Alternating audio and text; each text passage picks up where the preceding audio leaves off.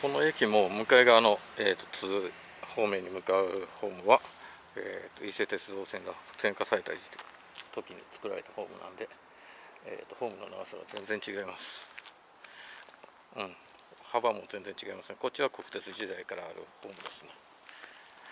この鈴鹿駅は、えー、と普通列車と快速列車とあとワイドビュー南紀も全部止まります。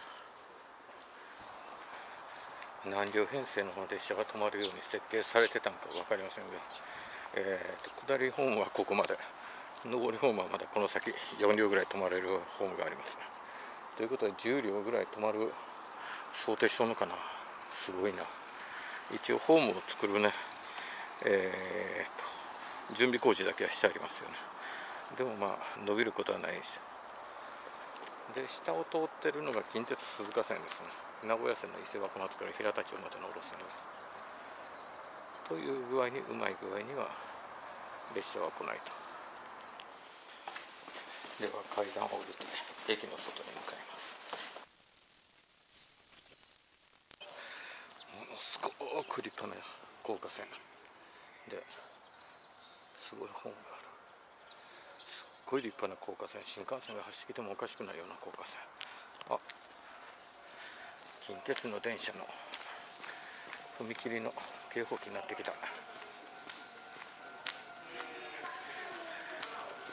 電車来るんかな。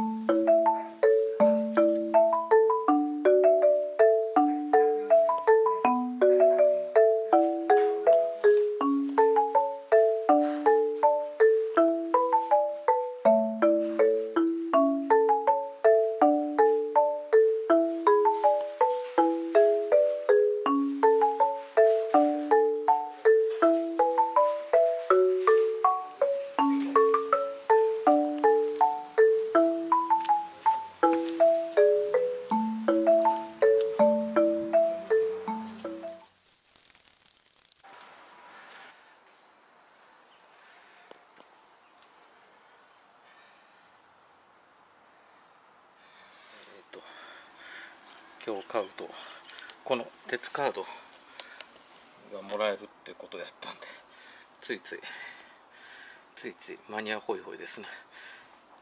このクリアファイル買ってしまいました。そのために今日は鈴鹿駅に来ました。これは一心殿のあたりやな。このここに